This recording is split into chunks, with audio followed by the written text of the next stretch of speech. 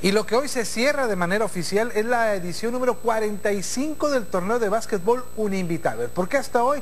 Porque hoy se realiza la gran final de la categoría de segunda fuerza, la última categoría que está por definirse. Ya todas las demás acabaron eh, la semana pasada precisamente. Y en los duelos semifinales de, de esta categoría de segunda fuerza, partidazo entre Powerman y Clean BC. Gana Powerman 44-42, duelo que se tuvo que ir a doble tiempo extra ya que habían terminado empatados a 31 puntos y después 35-35 con 5 minutos de alargue y se fueron hasta el segundo tiempo extra donde gana 9 por 7 Powerman.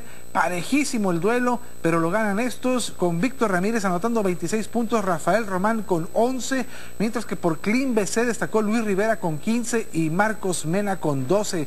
Vaya manera de enfrascarse en este duelo. Y por cierto ellos se van a enfrentar mañana en la final de la Liga Primos de segunda fuerza también. La otra semifinal de la Univitable de segunda fuerza fue Centinelas y Mesas Team, no menos emocionante, aunque este no se fue a tiempos extras, pero en tiempo regular gana Centinelas 37-35, duelo de equipos muy jóvenes que ganan los Centinelas con Gabriel Espinosa anotando 19 puntos, Alan Vázquez tuvo 12 por el equipo de Centinelas.